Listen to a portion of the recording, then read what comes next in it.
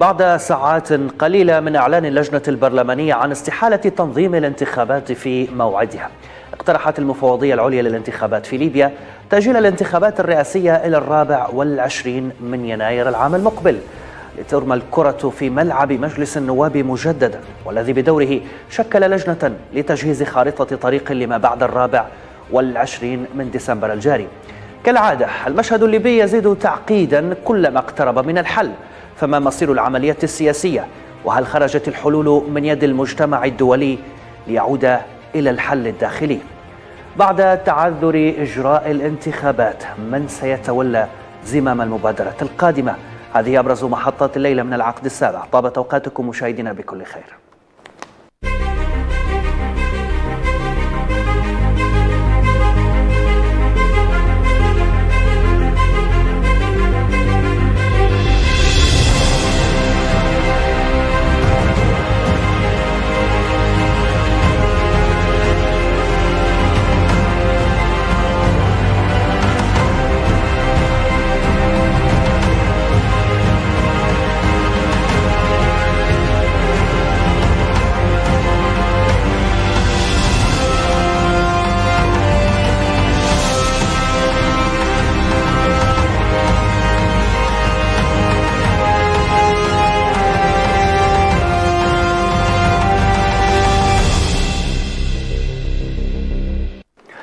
حياكم الله مشاهدينا واهلا بكم في الجزء الأول من حلقة الليلة في العقد السابع والتي سيصحبنا فيها هنا ضيفي في الاستوديو الأستاذ فرج زيدان الباحث في الشؤون الاستراتيجية.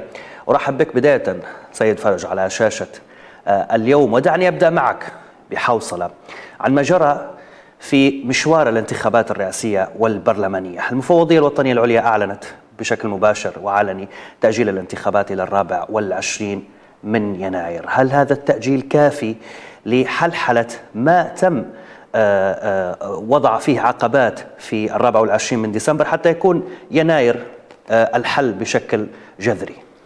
بداية أنا أرحب بحضرتك وبكل السادة المشاهدين. طبعا ما ذكرته المفوضية في بيانها الأخير هو مجرد اقتراح فقط لمجلس النواب كسلطة تشريعية معنية بتحديد اليوم الانتخابي بناء على اقتراح المفوضية. المفوضية اقترحت بأن يكون التأجيل ليوم 24 ديسمبر. المجلس النواب الآن بحسب ما ذكره أعضائه بأن ثمة جلسة ستكون مصيرية ومهمة يوم 27 ديسمبر القادم. سيعلن فيها عن قرارات مصيرية وعن خارطة طريق جديدة. لكن لو سألنا سؤال مهم جدا ومنطقي في إطار محاولة الوصول إلى مقاربة مهمة جدا تليق بالسادة المشاهدين الآن.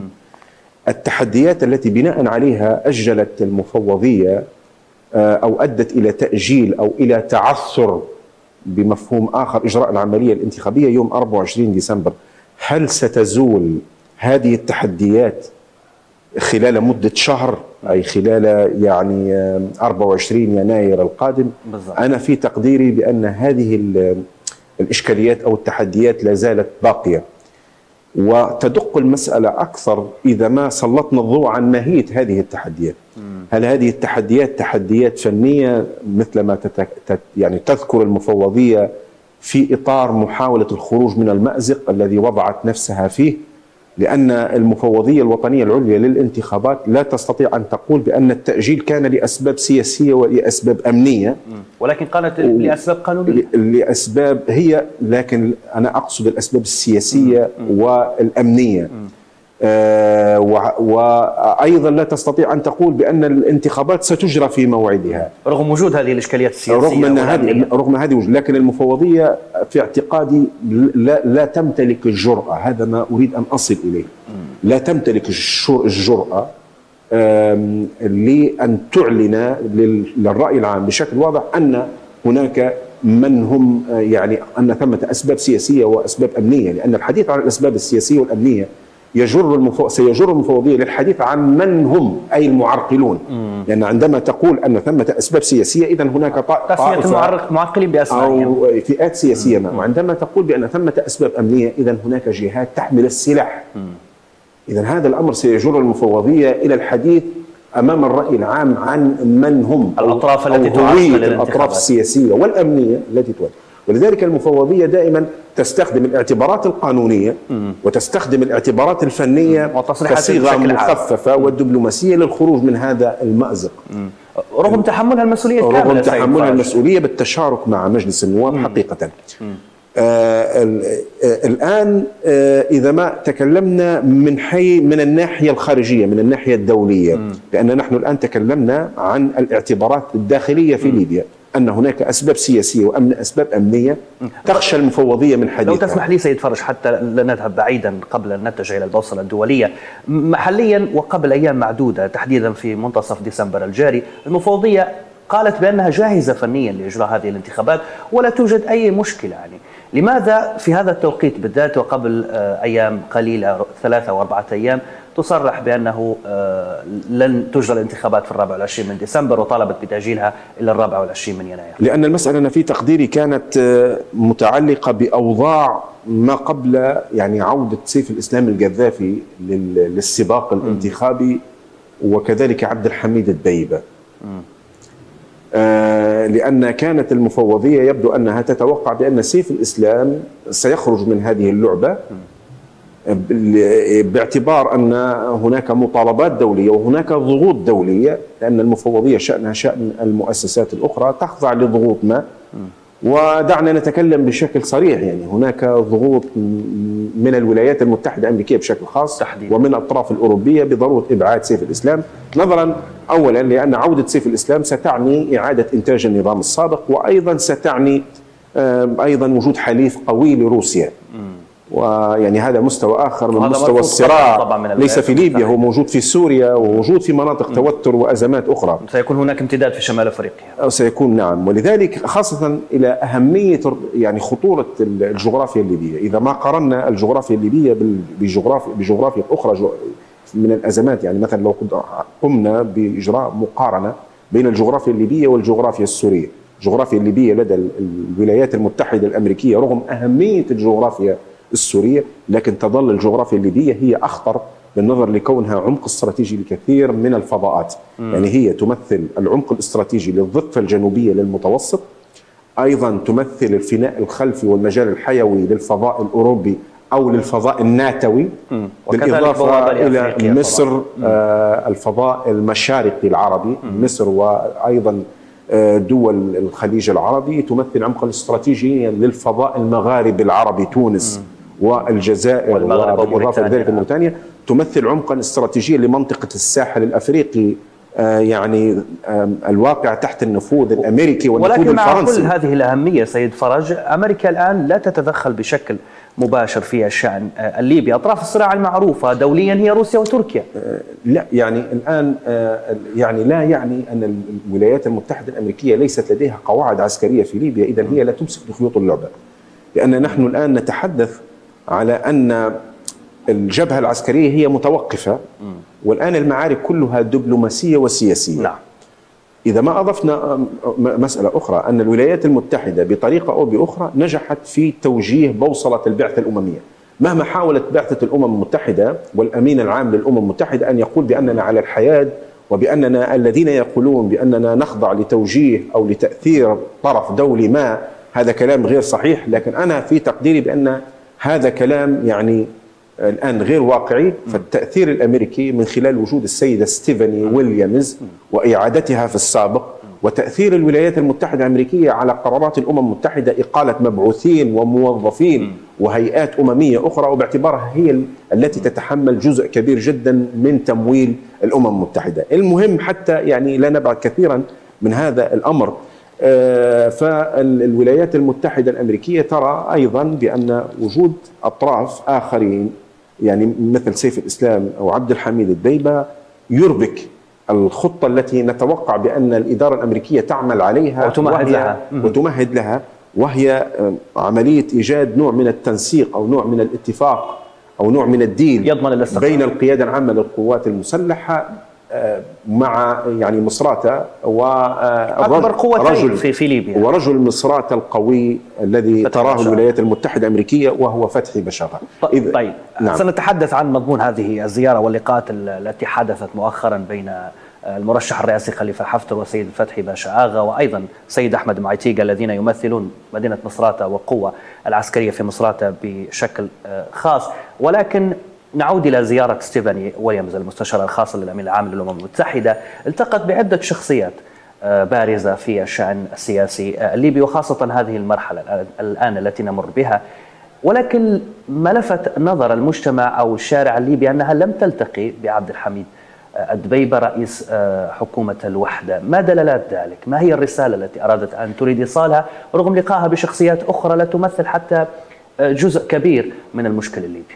يعني نستطيع أن نقول الآن لا يمكن الحسم بأن عدم لقائها بعبد الحميد الدبيبه يعني بأن عبد الحميد الدبيبه مثلا يعني لا يعني مثلا قد لربما يخرج من السباق الانتخابي أو أن الولايات المتحدة الأمريكية يعني ترسل أرادت بهذه اللقاءات بأننا يعني لا نريد مثلا مرشح ما بحجة أننا لم نلتقي به. المسألة الأخرى لربما الساعات القادمة والأيام القادمة ستجد ستيفاني ويليامز تتحاور مع عبد الحميد الدبيبة وسترسل الصور في ذلك. ولذلك أنا في تقديري بأنها ليست ولكنها كانت موجودة في طرابلس ولم تلتقي معه توجهت إلى باقي المرشحين. لربما عبد الحميد الدبيبة كان في مكان آخر لربما عبد الحميد الدبيبة مثلا كان وربما لم يكن على جدول الاعمال ولربما لم يكن على جدول الأعمال. ما أقصده بأنها ليست مؤشرا قطعيا. مم. نستطيع أن يعني ان ان ان, أن نقول بأنه قصدا يعني. لأن ان أن السيده ستيفاني أرادت بعدم اللقاء به باستبعاده من السباق الانتخابي. لكن إذا ما عدنا يبدو أن هناك تركيزا على الرجلين القويين في ليبيا بعد إخراج المرتزقة والقوات الأجنبية، يبدو أن هذا هكذا هي الاستراتيجية الأمريكية. هو بالضغط على الأطراف الفاعلة في مصراته التي ترتبط بهذا بهذين الطرفين اللذين لديهما يعني مستشارون وقوات تدع تدعمهما نقصد جانب القيادة العامة للقوات المسلحة وجانب مصراته ويرون بأن عبد فتحي بشاغه هو الذي يمتلك النفوذ على عدد كبير جدا من التشكيلات مراكز القوة داخل المدينة. ومراكز القوة ليست فقط حتى مراكز القوه المسلحة بل بالإضافة إلى ذلك مراكز قوى اجتماعية أخرى. نعم. ومن ثم الآن بعد أن تنجح الولايات المتحدة في الضغط م. بإبعاد الروس وإبعاد الأتراك سيكون التوجه لمحاولة إنتاج سلطة سياسية جديدة السلطه تدعمها هاتين القوتين. نقصد القيادة العامة للقوات المسلحة وبالإضافة إلى ذلك فتحي بشاغه لأنها نعم. تدرك بأن مصراته هي القوة الضاربة في المنطقة الغربية. طيب. ومن ثم يجب إبعاد مصراته جيد. تأجيل الانتخابات إلى شهر بما يتوافق مع مطالب المفوضية الوطنية العليا للانتخابات. ألا يمهد ذلك إلى تمديد حكومة الوحدة لفترة انتقالية جديدة؟ يعني تستطيع أن تقول هناك سيناريوهين. هنالك سيناريو يقول بأن لربما هذه الحكومة تمدد بعد إدخال الإصلاحات عليها، لكن أنا لربما أرجح سيناريو آخر، لا أهمل السيناريو الأول ولكن أنا أرجح سيناريو آخر. هذا السيناريو الآخر يستند إلى قرار مجلس النواب الذي منح الثقة لحكومة عبد الحميد ديبه وهو أن هذه الحكومة تنتهي يوم 24 ديسمبر. ومن ثم نحن نتوقع ان ان أن مجلس النواب سيعلن عن خارطة جديدة وسيكون هناك مترشحين لرئاسة جدد لرئاسة الوزراء. نتوقع أن يكون من بينهم فتحي بشاغة الذي سيتقدم ضمن مجموعة من الأسماء الأخرى لتبوء هذا المنصب. وسيكون هناك بالتأكيد تنافس وتصويت داخل مجلس النواب. لربما نشهد مثلا فتحي بشاغة أو شخصية من هل سيقبل فتحي بشاغة لقيادة حكومة مؤقتة انتقالية؟ أنا أعتقد بأنه لربما يقبل هكذا مسألة خاصة إذا لم يكن هناك أيضا حظرا عليه فيما يتعلق بالترشح للانتخابات القادمة. لكن نحن الآن يعني نتكلم الآن عن عن مسألة غامضة في إطار ما نسميه بمبدأ اللا يقين. نحن الآن لا توجد لدينا حقائق مطلقة أو حقيقة مطلقة ومن ثم نحن نحاول نحاول أن نقترب من المشهد رويدا رويدا في إطار السيناريو الأخير ووصول فتحي بشاغه وأحمد معيتيق إلى بن غازي، هذه نقطة فارقة وغير مسبوقة حقيقة. وإذا ما ذهبنا وركزنا مثلا على شخصية مثلا المترشح فتحي بشاغه الذي نستطيع أن نقول بأنه لديه حظوظ كبيرة. إذا ما قلنا بأن السيناريو الأوفر حظا وهو أن ثمة حكومة جديدة تلوح في الأفق وبأن صلاحيات الوحدة. بديله لحكومة الوحدة؟ هنا سؤال أستاذ آه. فرج لو تسمح لي. إذا ما بثقت حكومة من البرلمان ورفض عبد الحميد الدبيبة بالثقل الذي ربما يحتمي به في طرابلس وهو المجموعات والتشكيلات المسلحة ألا يعود بنا ذلك إلى سيناريو حكومتين حكومة وحدة وحكومة مؤقتة؟ وكلاهما يتصارع من أجل الشرعية وأحدهما لديه شرعية دولية والآخر لديه شرعية البرلمان. هذا ما كان ما يرتبط بحديثنا الأول. قلنا بأن يعني في تقديرنا بأن الفاعل الأمريكي تحديدا أنه للأسف نقول يعني أن حالة الوضع وحالة الانقسام وحالة التشظي بطريقة أو بأخرى جعلت القرار السيادي في ليبيا كما هو الحال في مناطق أزمات أخرى يتأثر باللاعبين الخارجيين. آه، وكنا نحن نتكلم في السابق بأن الولايات المتحدة الأمريكية لديها خطة في التعامل مع الملف الليبي. إبعاد يعني القوات الأجنبية الروسية والتركية من هذا الملف. أيضا دعم مرشحين آخرين لديهم علاقات بالولايات المتحدة الأمريكية أو تستطيع أن نقول بمفهوم المخالفة ليسوا آه، وكلاء لروسيا. آه الآن أنا في هذا الإطار يبدو أن الولايات المتحدة الأمريكية الآن بطريقة أو بأخرى تدعم ما حصل مؤخرا في بنغازي. مجيء آه فتحي بشاغة وأحمد معيتيق إلى بنغازي والتقائهم ولكنها لم تصرح بشكل رسمي من الطبيعي وهذا هو الطبيعي ألا تصرح لأنها لو صرحت معنى ذلك انتهت وكشفت اللعبة تحديدا خاصة بأن ثمة أطراف آخرين يعني آه، يتصارعون مع الولايات المتحدة الأمريكية في هكذا مسألة. وفي في تقديري بأن كل الأطراف لا يكشفون عن حقيقة يعني قواعد اللعبة التي يستخدمونها في التعامل مع الملف الليبي أو غيرها من الملفات الأخرى. لا يتم إشخارها حتى تكتمل وحتى تصبح أمرا واقعا. هذه هي الموضوع. ومن ثم يعني الآن هم يركزون على هاتين القوتين كما سبق وأنا قلت لك. القيادة العامة للقوات المسلحة التي تسيطر على شرق البلاد وعلى جنوب البلاد ومصراتة ممثلة في فتح بشاغة بالنسبة للمنطقة الغربية. هنا لربما نشهد بأن الولايات المتحدة الأمريكية ومعها الأطراف الأوروبية تدعم هذه الحكومة الجديدة برئاسة مثلا فتح بشاغة ولربما نجد بأن مهام المجلس الرئاسي ستعود إلى رئاسة البرلمان سيعود عقيلة صالح لربما قائدا أعلى للجيش. سيجمد في في تقديري خارطة طريق جديدة جدا آه، ومن جهة أخرى حتى بالإضافة لذلك يتم احتواء يعني عقيلة صالح بحيث تعاد صلاحية آه، الرئيس والقائد الأعلى هنا.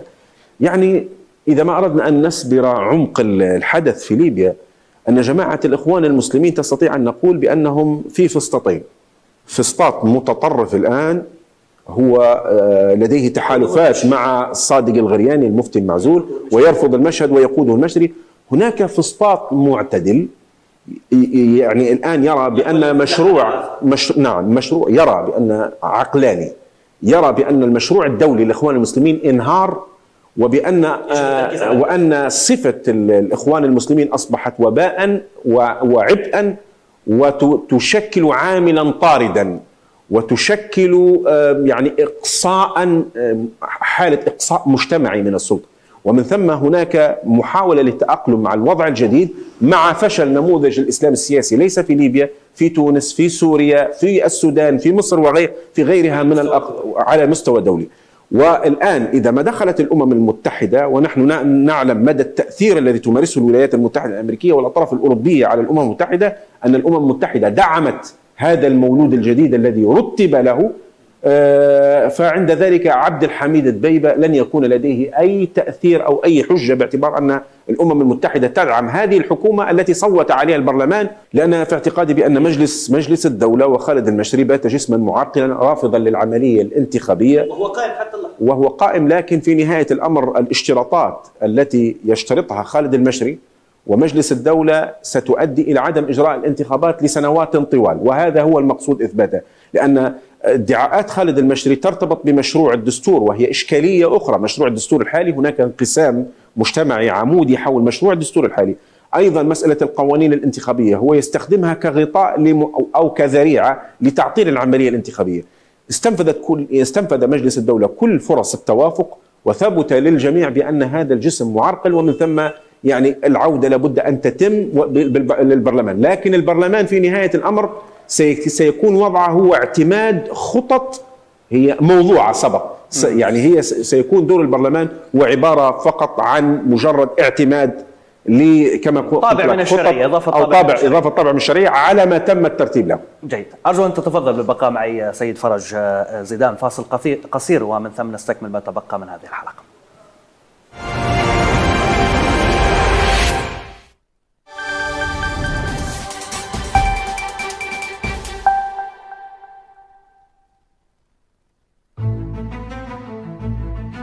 الشارع الليبي يترقب بصمت وينتظر آه، قرار القضاء آه، الفصل في هذه الطعون المقدمة. من عدة مترشحين في الحقيقة؟ يبدو أن السيد باش أغا رأى في آه، السيد عبد الحميد الدبيبة. هو هو منافس قوي وقوي جدا وبالتالي لابد له من إقصائه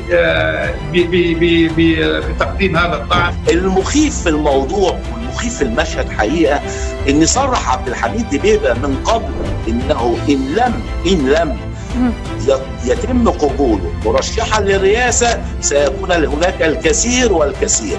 فنحن ننتظر. ما يحدث الآن في ليبيا في ليبيا هو آه، أمر معتاد حتى لدى الدول آه، آه، الأخرى من ناحية البدء في مراحل الاستحقاق الانتخابي الرئاسي.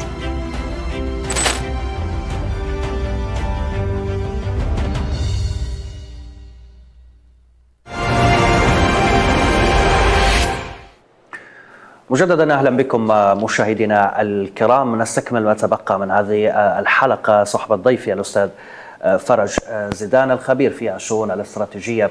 أهلا بك مجددا سيد فرج. والان ننتقل إلى المحور الثاني والرئيس والذي شغل الرأي العام مجددا وهو زيارة عدد من المترشحين لمنصب رئاسة الدولة ولقائهم بالسيد المرشح خليفة حفتر في مدينة بنغازي. سابقة لم تحدث من قبل حتى إبان اللقاءات السياسية في الخارج. لأول مرة هذا اللقاء يجمع بين أطراف نزاع في الداخل آه، الليبي. هل تعتقد أن هناك رؤية دولية وتدخل دولي في هذا اللقاء أم كان ودي ووطني صحيح. آه، آه، بشكل يعني عام؟ صحيح. وأنا أهنيك صراحة على هذا السؤال قيم وهو محور شديد الاتصال بالمحور السابق يعني يعني بما كنا نتحدث عنه في السابق ولربما ما كنا نتحدث عنه في الجزء الأول يعتبر تمهيد أو مقدمة لسؤال حضرتك المهم الذي أراه. نعم.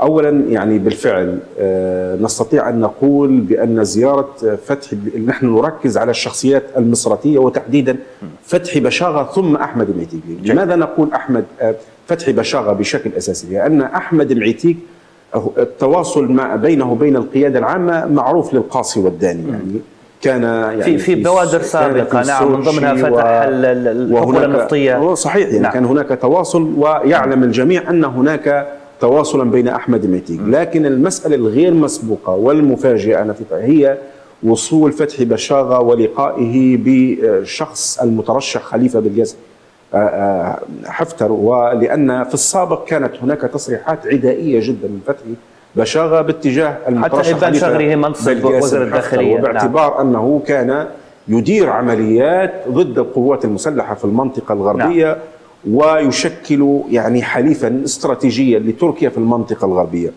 هذا ما يجرنا للحديث بأن هناك متغيرات إقليمية ودولية آه، لديها تبعات تداعيات أو تبعات على الملف الليبي. يعني الآن نلاحظ بأن هناك تقاربا مهما جدا حتى بين حلفاء الخصوم داخل داخل الملف الليبي. يعني عندما نتحدث عن القيادة العامة للجيش لديها علاقات مهمة وعميقة مع مصر ومع الإمارات ومع آه، دول أخرى. آه، هذه الدول لديها صراع على مستوى إقليمي مع مع تركيا. جيد. آه، تلاحظ الآن بأن هناك عملية انفتاح تتم من قبل حتى الأطراف الداخلية على معسكرات الخصوم. دبلوماسية. يعني نعم. مثلا عندما نتحدث عن فتحي بشاغة فتحي بشاغة لديه تواصل مع الفرنسيين وهم أيضا حلفاء داعمين للقوات المسلحة من الناحية الدبلوماسية وفي مجلس الأمن وفي غيرها من المحافل في الدوليه الساحة الدولية. نعم. آه، أيضا هناك انفتاح من فتحي بشاغة على مصر. هذه نقطة مهمة. نعم حتى, حتى لقائه مع المرشح الرئاسي خليفة حفتر يعني جاءت الطائرة من القاهرة جاءت من القاهرة. أيضا هناك انفتاح. من فتح بشاغة على الإمارات.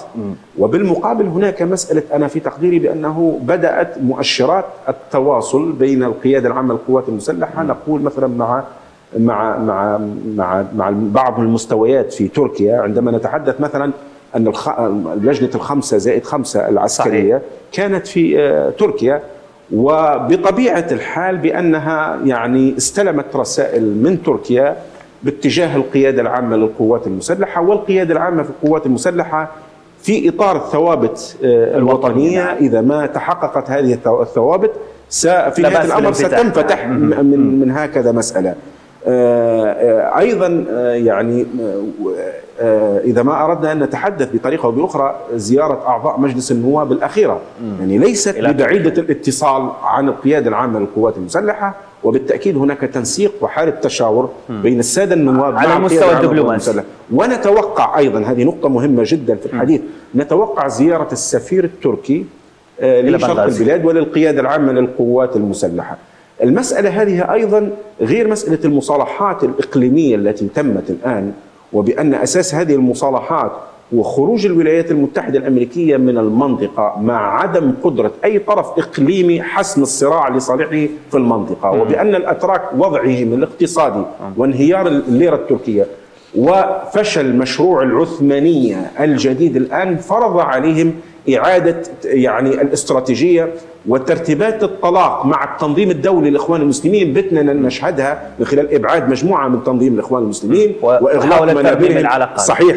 وإغلاق منابرهم الإعلامية الآن. المسألة الأخرى حتى لا أطيل عليك. جيد. أن القيادة العامة للقوات المسلحة تمتلك أوراق اقتصادية مهمة جدا في العلاقات مع تركيا. يعني مثلا آه، ما يسمونه بالحدود البحرية. أو الاتفاقية البحرية. أو الاتفاقية البحرية. هذه ليست في طرابلس هي في منطقة البردي في شرق البلاد. المسألة الأخرى الشركات النفطية التركية التي يسيل لعابها للاستثمار في قطاع الطاقة في ليبيا.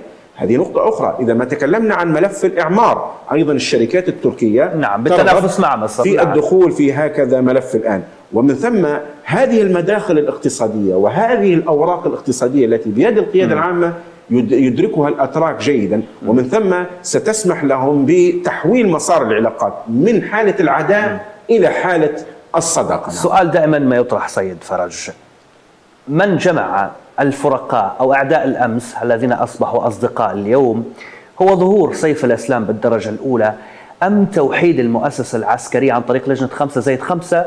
وما شوهد من آه، يعني تحالف بين القوات المسلحة وعدد من آه، أو معسكر محسوب على مدينة مصراتة بقيادة آه، محمد الحصان الذي شهد وهو يؤمن عدد من المناطق الاستراتيجية في وسط البلاد أو الوسط الجنوبي للبلاد مع سرية وكتائب تابعة للقوات المسلحة، هل تم التمهيد لها عسكريا في المسبق أم سيف الإسلام كان له الدور الأكبر؟ لا أنا في اعتقادي بأن سيف الإسلام ظهوره ودخوله في خط الانتخابات كان بمثابة القطرة التي أفاضت الكأس.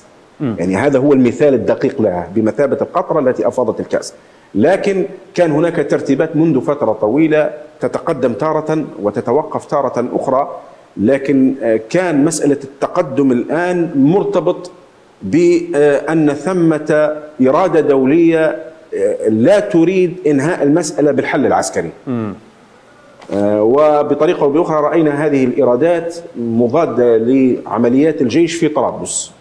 آه، سواء عمليات الأفريكوم الولايات المتحدة الأمريكية بالإضافة إلى تركيا وغيرها من الأطراف. حتى أن الأتراك يعني أخذوا ضوءا أخضرا وليس حتى برتقاليا من الولايات المتحدة الأمريكية. وهناك معلومات شبه محاولة رد يقينية بأن الجيش. الأفريكوم حتى دخل في عمليات مسلحة ضد الجيش جوية. الوطني بالنظر إلى استخدام بعض الأسلحة التي لا يمتلكها حتى الأتراك متقدمة جدا.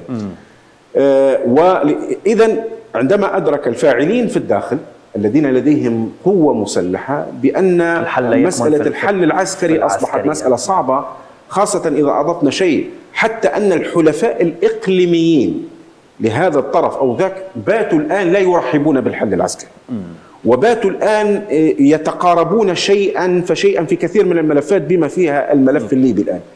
اذا هذا الأمر انعكس بطريقه بطبيعه بطريقة أو بأخرى على الدفع بمسار الحل السياسي وعندها الأطراف الداخلية تلقفت هذه الرسالة ورأت بأنه لا ضير الآن من التقارب داخليا حاولت ترجمتها داخليا ومحاولة ترجمتها بالفعل داخليا الآن وشريطة إنتاج سلطة سياسية تضمن لكل هؤلاء اللاعبين في الداخل مقاعدهم المهمة في المشهد طيب. ويبدو أننا هذا ما نحن مقدمين عليه الآن من خلال يعني الآن إنتاج سلطة سياسية تكون القيادة للقيادة العامة للقوات المسلحة للجيش الوطني دورا فيها ولمصراتة دورا فيها باعتبارهما هاتين هما القوتين الضاربتين على الجغرافيا الليبية مع كل هذه الإيجابية التي ذكرتها حضرتك سيد زيدان على هذه آه، الزيارة التي شابت هذه الزيارة. لا ننسى بأن تبعات هذه الزيارة أدى إلى نوع من زعزعة الاستقرار خصوصا داخل العاصمة طرابلس. كان هناك ظهور مسلح لعدد من التشكيلات داخل آه، مدينة طرابلس وشهدنا أيضا إنشاء عدد من السواتر الترابية كطوق على مدينة طرابلس في شرقها وغربها وأيضا في آه، جنوبها.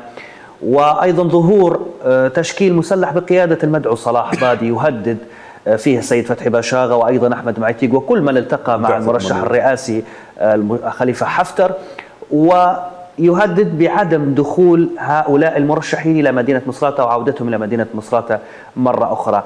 ألم يزد من تعميق الأزمة ظهور هؤلاء المرشحين ولقائهم بالسيد خليفة حفتر؟ وسيشكل ربما انقسام عسكري آخر كان مدفون نوعا ما بين المرحلة الانتقالية. يعني ناس الإجابة على سؤال حضرتك لها عدة مستويات. أولا بأن حالة الصراع بين هذه المكونات المسلحة في المنطقة الغربية هي موجودة.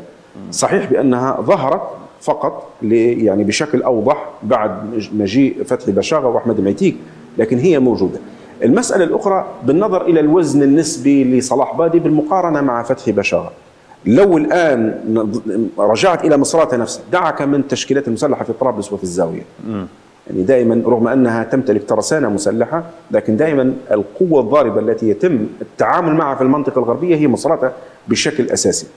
الآن واضح بأن هناك مكونات كثيرة داخل مصراتة عسكرية واجتماعية وسياسية أيضا. هي داعمة هذا التقدم بشكل كبير جدا. هذه نقطة. النقطة الأخرى مكان السلطة. أنا في تقديري هناك توجها على المنظور القريب وليس المنظور البعيد على المنظور القريب بأن آه، آه، أن هذه السلطة لربما تجتمع في مكان آخر غير طرابلس.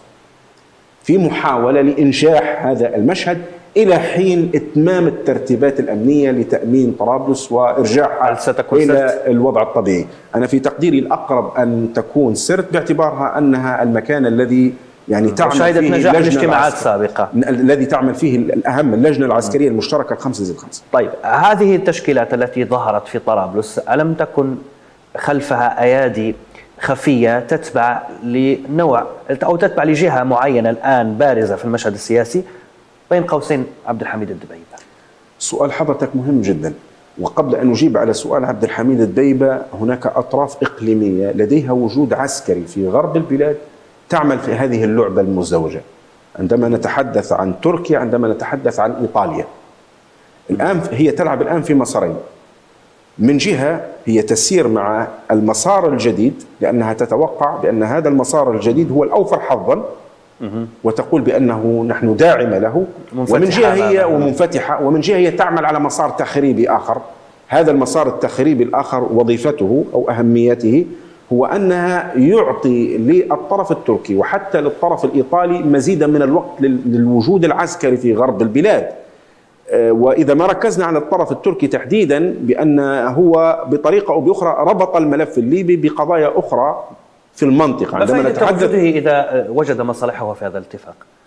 يعني آه، لا المسألة أكبر من مجرد مصالح وداخل داخل ليبيا وشركات وإلى غير ذلك. نحن الآن نتحدث مثلا عن ارتباط الملف الليبي بقضية شرق المتوسط. يعني لأنه لا يضمن أن السلطة الجديدة لربما ستعمل على إنكار آه، الاتفاقيات ومذكرات التفاهم وهذا متوقع وتخشى منه م. تركيا ولذلك تركيا هي الآن تعمل على هذا المسار مسار الانفتاحي آه، ومسار آخر مسار تعطيلي. ولذلك أنا أنبه وقلت هذه المسألة عبر عدة قنوات لأن يظل وجودها العسكري مهدد لأنها استخدمت ليبيا بطريقة أو بأخرى ورقة في عدة مناطق صراع أخرى. واستخدمت ليبيا كورقة في صراعها مع الشرق المتوسط وتستخدم ليبيا كلعبة أو كورقة في مفاوضاتها مع الاتحاد الأوروبي للانضمام. ومن ثم نحن نحذر من هكذا مسألة آه، لكن في جميع الأحوال آه، نحن نقول بأن المسار الإيجابي سيكون هو الأكثر فعالية. بالنظر بأن عبد الحميد الدبيبة حتى من ناحية أخرى أصبح عبئا حتى على حلفائه باعتبار أنه الآن يمثل نموذجا لحكومة فساد ولحكومة نهب كبير جدا ورشوة. وبالنظر إلى حالة الانقسام وحالة الوهن التي أصابت حكومة الوحدة الوطنية، م. الآن هناك صراعا بتنا نشهده داخل المجلس الرئاسي الواحد وداخل المجلس الرئاسي وبين عبد بين عبد الحميد الدبيبة وصراعا بين عبد الحميد الدبيبة ونوابه ووزراء الوزراء الآخرين الذين يمثلون مثلا إقليم برقة وفقا لمبدأ المحاصصة الجغرافية، ومن ثم هذه من من ناحية أخرى حتى أنهي في هذه النقطة أن الآن الأطراف الخارجية الآن باستثناء تركيا الآن ترى بأن عبد الحميد الدبيبة لم يعد صالحا وحكومة الوحدة الوطنية لم تعد صالحا لأن تكون شريكا مهما في التعامل مع قضية إبعاد المرتزقة والقوات الأجنبية فيما يتعلق بمسألة معالجة الملف الأمني ودعم اللجنة العسكرية المشتركة لا سيما مع إصرار عبد الحميد بيبل بالاستئثار بملف ولكن هذه ليست من مهام الرئاسي. الآن ما الآن هناك صراع بين محمد بن من الناحية السياسية الآن. م. هناك صراع بين المجلس الرئاسي ومحمد بن تحديدا مع عبد الحميد الدبيبة.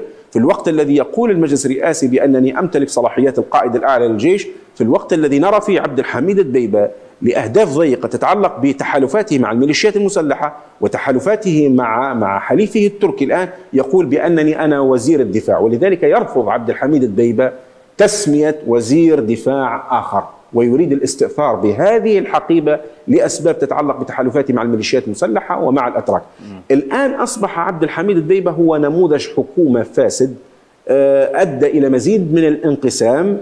وأصبح يعني عبئا كثيرا جدا على مزيد من الأطراف الدولية وأدرك أيضا هؤلاء الفاعلون أو اللاعبون الخارجيون بأن هناك إرادة وطنية ترى بأنه يجب التخلص من كل الأجسام الحالية مجلس النواب ومجلس الدولة بقيادة المشري وعبد الحميد الدبيبة وغيرها ومن ثم لابد من إعادة إنتاج شرعيات أو سلطات جديدة آه، يعني تستند إلى قاعدة الانتخابات وليس إلى قاعدة التوافق طيب نعود للزيارة آه، التي آه، ربما تصدرت المشهد الليبي في اليومين الماضيين. لماذا هذه الزيارة يعني كان من ضمن آه، الزائرين ولقائهم بخليفة حفتر المرشح الرئاسي كان هناك مرشحين آخرين من ضمنهم عبد المجيد سيف النصر وأسماء آه، أخرى المرشحة لمنصب رئاسة الدولة. ولكن ما تم التركيز عنه هو آه، المرشح فتحي باشا آغا وأحمد معتيق. إذا كان حضور هؤلاء لا ربما يعني يزيد أو يضيف للمشهد السياسي وهذا التوافق آه، شيء من الإيجابية. لماذا كان حضورهم في هذا اللقاء تحديدا؟ يعني تستطيع أن تقول أولا بأن هناك بعض الشخصيات التي تمثل مناطق وتمثل عندما نتحدث عن آه، سيف سيف النصر عبد المجيد سيف النصر فيمثل وزنا مهما. أيضا عارف النايد لكن الآن نتكلم عن عبد المجيد سيف النصر بالنظر إلى المنطقة الجنوبية. م. ولربما نجد عبد المجيد سيف النصر في يشغل إحدى الحقائب الوزارية مثلا. لكن هناك تركيز على على على على مصراته وعلى شخصية فتحي بشاغه تحديدا. لأن نحن الآن كانت هناك حالة احتراب. يعني الآن لم يكن هناك حالة احتراب مع عبد المجيد سيف النصر. جيد. تمام؟ ولكن كانت هناك حالة احتراب تقودها مصراته ممثلة بأحد الأطراف الفاعلة وعلى راسهم فتحي بشاغه ومن ثم من الطبيعي جدا أن يسلط الإعلام وكل الليبيين في الداخل على الشخصيات القادمة من مصراتة وبشكل أساسي على فتحي بشاغة. وكما قلت لك الآن المسألة الأخرى لأن هناك وعي مجتمعي يدرك بأن مصراتة لابد من إبعادها من الصراع وبأن مصراتة لابد أن تبتعد عن ممارسة أي أدوار مضرة لتقوم بممارسة أدوار إيجابية جداً. وبأنه إذا قمنا إذا نجحنا في تحقيق هذا الاختراق وسحب مصراته سيترتب على ذلك إضعاف وتوهين الميليشيات الأخرى لا سيما وإذا آه، لأن المسألة تتعلق بإنجاح المسار العسكري وتشكيل آه، يعني جيش موحد كما يقول مسألة توحيد الجيش. مصراتة تلعب دورا على على المستوى الآخر المستوى الأمني بالإضافة إلى المستوى السياسي. وأيضا لا تنسى إذا حتى وإذا قلنا بأن مكان هذه السلطة الجديدة في سرت فمصراتة هي قريبة من الناحية الجغرافية من سرت. ومن ثم ترتيب أوضاع الاستقرار لهذه السلطة الجديدة يقتضي بأن تكون مصراتة طرفا مهما وفاعلا في هذا المشهد في لكي تلعب دورا كبيرا جدا في خلق البيئة الإيجابية. ومن ثم سيتم التعامل مع الميليشيات الأخرى التي أدرجت في القائمة السوداء من خلال يعني تجفيف منابع تمويلها وإضعافها وبعد ذلك تنفيذ الترتيبات الأمنية عنها في حالة سواء في حالة أن اختارت وانضمت أو في حالة حتى مجابهتها عسكريا بعد توهينها وإضعافها فيما بعد. طيب. بحسب متابعين للشأن السياسي آه، الليبي غياب شخصية معينة في هذا اللقاء تحديدا آه، سيد آه، عقيلة صالح. ألا يعني ذلك إبعاد طرف آخر من المشهد الليبي؟ لماذا كان اللقاء بين خليفة حفتر و فتحي باشاغا واحمد معيتيك بالدرجة الثانية ولم يكن هناك تواجد للسيد عقيله صالح خصوصا أنهم اشتركوا في حكومة واحدة أثناء آه، الترشح لمنصب آه، رئاسة الحكومة حكومة الوحدة المنبثقة عن الاتفاق السياسي وأيضا المجلس الرئاسي. يعني أنا أعتقد بأني سبق وأن تكلمت قلت بأنه آه، في إطار الخارطة الجديدة يعني هذا احتمال أنا أقوله لا أقطع م. ربما تكون الخارطة الجديدة الحاضرين من ضمن الخارطة. كان لابد من تواجد ربما عقيلة صالح أنا في الإجابة على سؤال حضرتك. طبعا تظل مسألة آه، عدم وجود عقيلة صالح في المكان آه، تظل محل سؤال. لكن في المقابل أنا لدي إجابة أخرى يعني عملية. لربما الآن آه، سنرى أنه في الخارطة الجديدة بأنه لا وجود لمجلس رئاسي. وتعود صلاحيات الرئاسة وكما ذكرت في الجزء الأول من الحلقة إلى رئاسة البرلمان وإلى عقيلة صالح. أي بمعنى أن يلعب عقيلة صالح دور دورا إضافيا بالإضافة إلى رئاسته للبرلمان دور رئيس الدولة. يعني في هذا اللقاء كان من ضمن الاتفاقات هو وجود عقيلة صالح. يعني أنا أعتقد يعني لا أمتلك الحقيقة المطلقة ولكن أنا أعتقد بأن ستعود صلاحيات. أعتقد بأنه ستعود صلاحيات الرئاسة إلى البرلمان وإلى عقيله صالح تحديدا في إطار آه، ضمان آه، أن يلعب عقيله صالح دورا ايجابيا في هذه هذه الخارطة وأن يعمل على التصويت على الحكومة وأن يلعب دورا مهما جدا في التصويت على هذه الحكومة القادمة في البرلمان. هذه نقطة مهمة جدا. جيد. آه، ولذلك أنا أعتقد بأن هذه الصفقة تشمل هذا المثلث. القيادة العامة للقوات المسلحة وبالإضافة إلى ذلك مصراتة وبالإضافة إلى ذلك البرلمان ورئاسته متمثلة بعقيلة صالح في دقيقة واحدة هل ستنجح كل هذه الأطراف التي التقت داخليا في ليبيا آه، بدعم من المجتمع الدولي في الوصول إلى الاستحقاق الانتخابي في الرابع والعشرين من يناير آه، نحن. متفائلين إذا ما أخذنا الجانب التفاؤل نعم هناك مؤشرات تدعونا أو تذهب بنا للتفاؤل بأن هذا المشهد السياسي القادم م.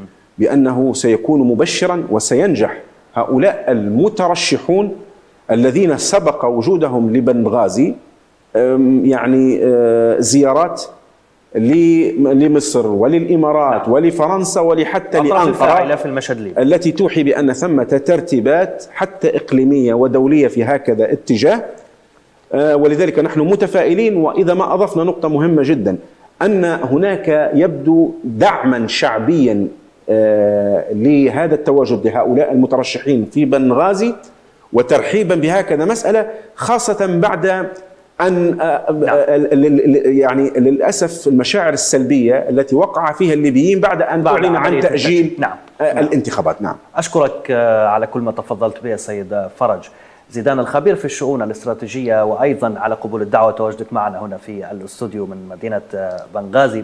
مشاهدينا الكرام وصلنا إلى ختام هذه الحلقة. دائما في الختام تقبلوا تحياتي وتحيات فريق العمل على أمل أن نلتقي مطلع الأسبوع المقبل في حلقة جديدة. دمتم في أمان الله. إلى اللقاء.